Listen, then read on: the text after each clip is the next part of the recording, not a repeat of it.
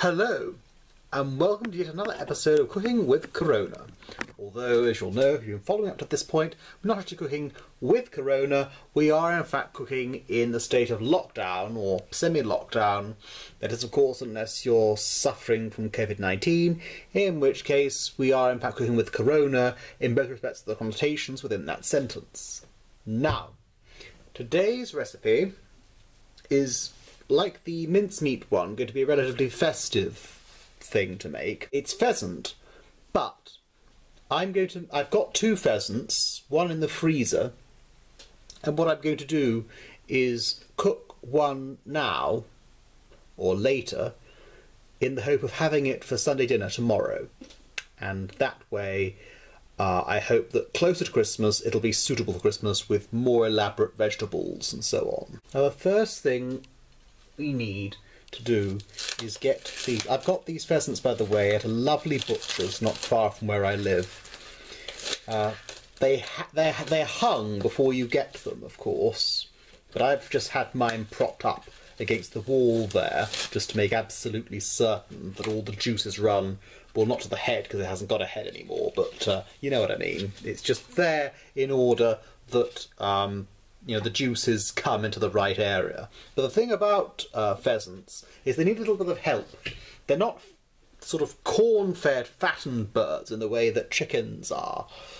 As such, they need a lot to bring out the flavour, and that's why you often see them uh, with streaky bacon wrapped around them. Now, I may do that. I've not made up my mind just yet. I'm, I'm, I've got a sort of hybridized recipe in my mind here. Making a pheasant glazed is unusual, but uh, I think we just might do it. So, before we do anything, we need to just get some water. I'm going to fill this baking tray with water. I'm hoping that following as I am a recipe that calls for um, four cups of water, I'm doing it with the right cup. I, I presume they're um, US cups, not imperial cups. It's over 900 millilitres, I think. So I've got some of this water in a mixing bowl. A not very clean mixing bowl, but a mixing bowl nonetheless. Just get those little bits out. And some salt. Now, a quarter of a cup, or around 60 millilitres of salt. Just measuring it out here. Into the water then I'll place this salt.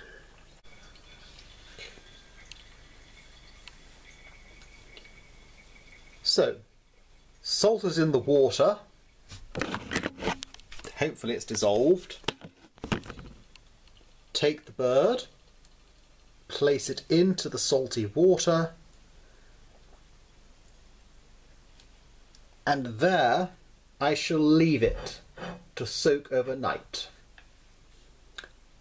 I will see you a bit later.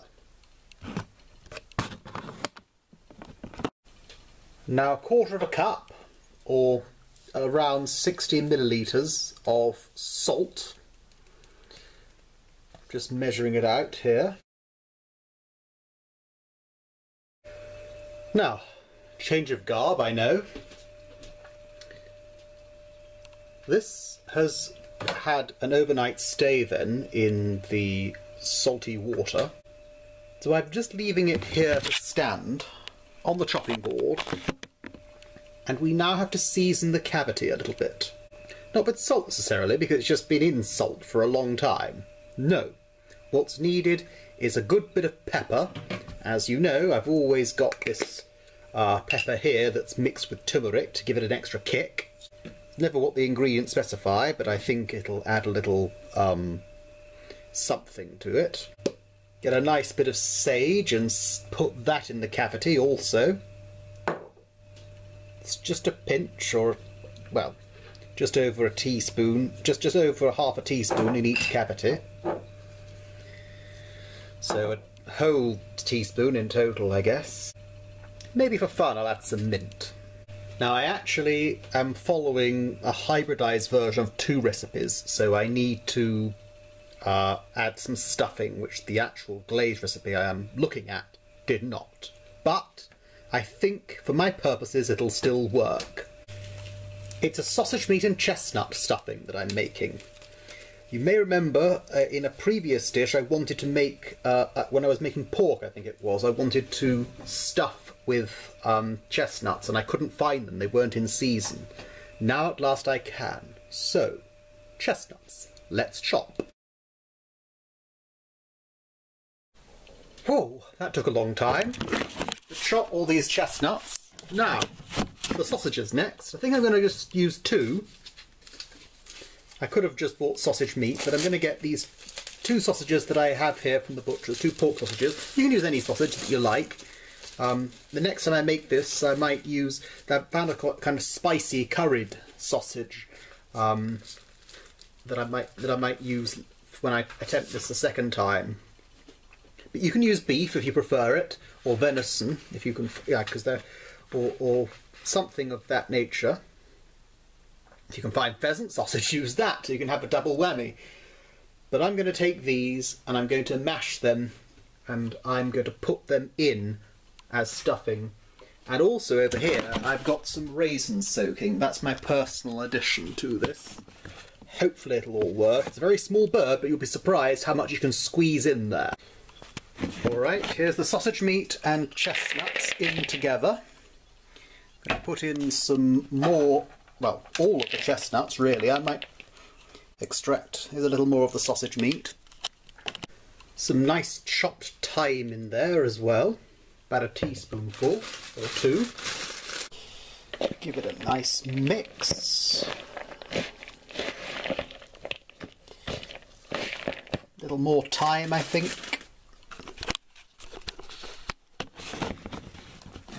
Tiniest pinch of dried mint. And another of my personal ingredients, and that is the pepper and the turmeric mix. I know I've put some already in the bird, but, well, I think it would be nice. So, I'll just mix that around. And now another personal touch, and that, of course, are the raisins that I mentioned earlier. Some nice plump raisins that I've been keeping in the water. And they're already quite large, much larger than the ones I had in, I managed to get in the Christmas mince meat, where only the uh, sultanas appeared to grow. Let's put that in then. And give it a mix. I know it's already going to be quite sweet because of the glaze, but it'll be a nice fruity um, touch to the uh, general stuffing, I think. And also, we associate dried fruits with Christmas a lot in this country. Half an ounce or 10 grams worth of butter. Mix that. Now set aside both bird and stuffing. And, uh, well, you can put it on a rack, but I would rather like to rest it on some onions. I think they'll be nice as gravy. What I'm doing here is putting some onions and carrots, maybe some celery, I've not made up my mind yet, as a sort of cushion. On this I'm going to place the bird. I'm hoping that they'll cook. The, the carrots are grated of course. The onions have been chopped in the usual way with my not cutting the stalk so that uh, I didn't cry whilst doing it because that stops you from crying if you're susceptible to crying because of onions. Uh, trouble is, I've cut my finger, so it really hurt, but it still works for my purposes. The uh, onion, by the way, is preheated at 230 degrees Celsius or 450 degrees Fahrenheit. I'm going to stuff the bird now that I've got its little bed, hopefully, Mix once more this lovely sausage meat and chestnut stuffing I've been making. You'll get in more than you expect to because it's quite wide in here. Then I'll put it in the oven. Now take this uh, pheasant here. I've stuffed both ends. I know you're not supposed to.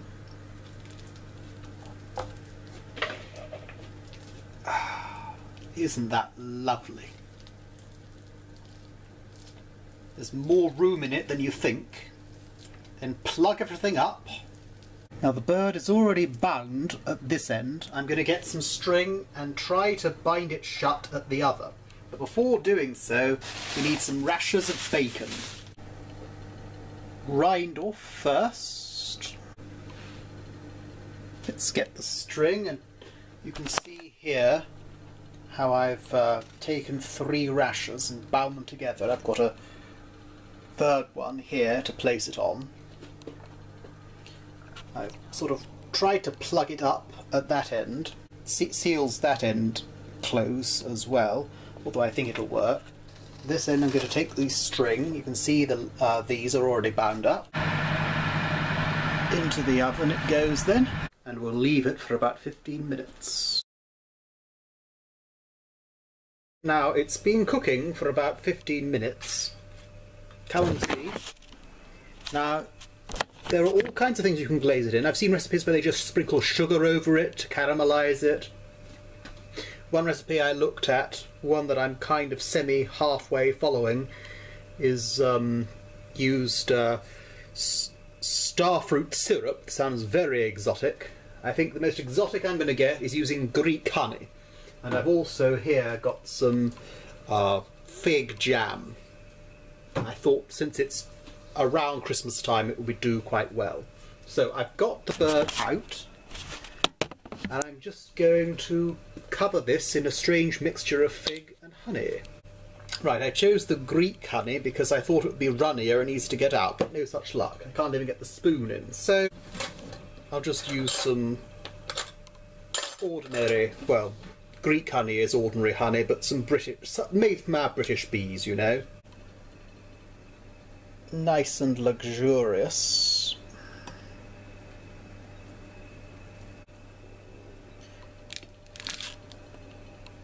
Nice bit of fig jam there then, just to add to it. Oh, see how it slips off the spoon even easier than the honey. Another slice of bacon, I think.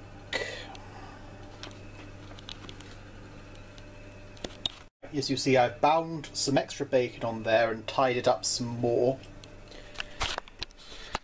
Having given the added extra sweetness to it, I'm going to put it in the oven for a further 40 minutes, but I'll probably interrupt it halfway through in order to baste it again. Very well, 20 minutes has passed. Let's glaze the other side now. Just use the exact same method. Ah, it's slightly runnier here, so honey first. Fig jam next. Then in the bird should go for a further 20 minutes.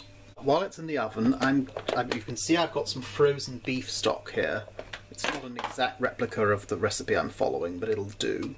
So, a few of the greens left behind from the from the beef stock that I made, I'm going to put in, almost wishing I'd uh, got myself some uh, a whole bird with giblets. That would be even better. If you've got them, use the giblets. But this is pheasant, so look at that lovely bird. And I'm going to pour the juices of it into that stock and vegetable mixture that I made.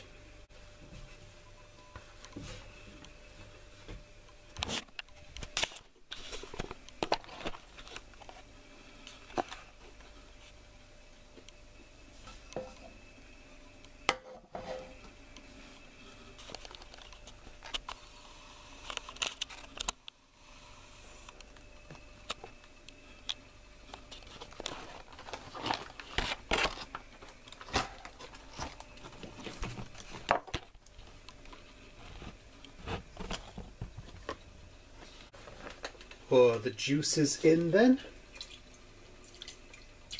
See how lovely and brown that looks, how much it's browning more. Tablespoonful of flour into the same mixture to thicken it. here's some lovely sherry. Never tried this as a gravy before, but we'll see.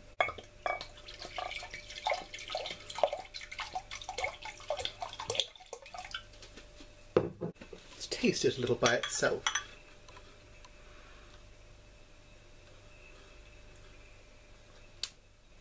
It's alright, it'll do. Looks thin, I know. Now I'm going to very gingerly pour some into a jug that I've got right here. Very well. Let's put the pheasant onto this plate here. Cut away the string.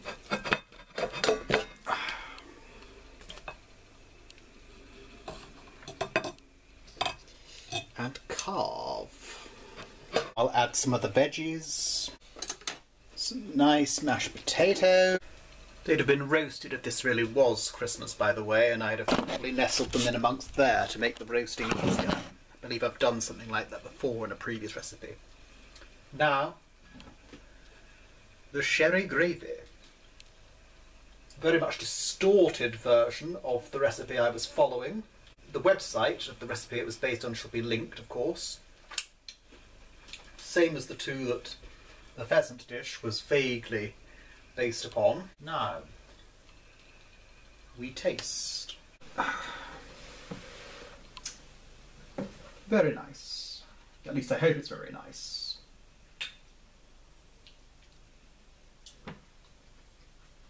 Hmm.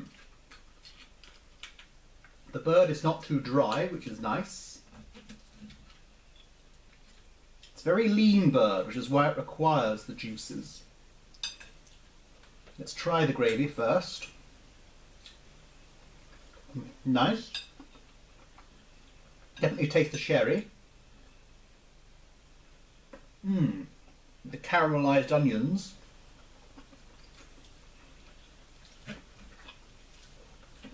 Some of the outer skin of the pheasant.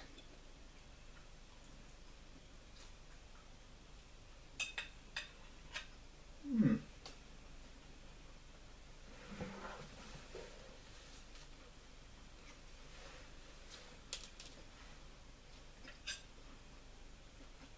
Curious.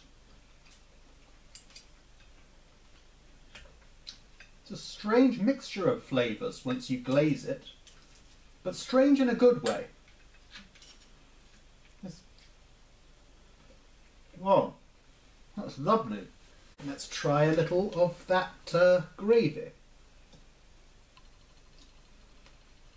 Hmm. Let's try specifically some of the gravy.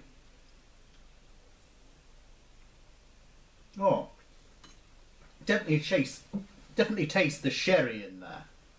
Got a good nice kick in there. The stuffing. Sausage meat and chestnut stuffing. Oh, this is beautiful.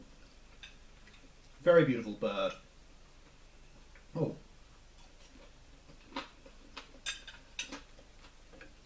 Beautiful bacon as well. Man.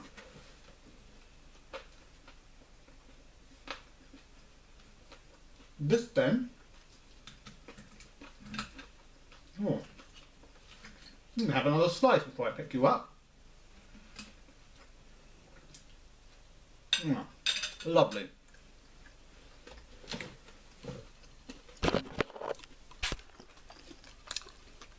So that's glazed pheasant. Still not terribly good at presenting things, I know that. But still, I think such a bird would be good for Christmas. I might, as I said, add different kind of glazing. More honey as well, honey that I could make sure did run. And the lovely fig I might get more of if I can find it. But overall, a very nice bird. So, try it yourself if you like. And if you don't like, ta-ta!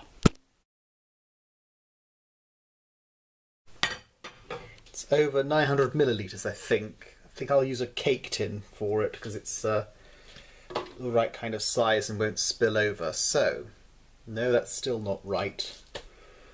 Maybe a cake tin is best. I hope so, anyway.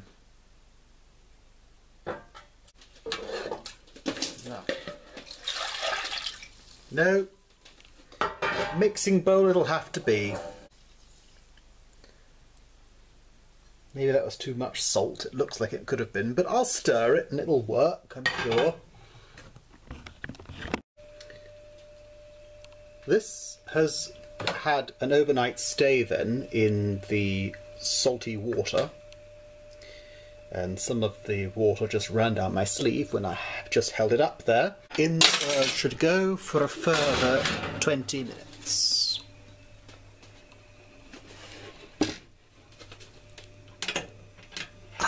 Just get that fork out.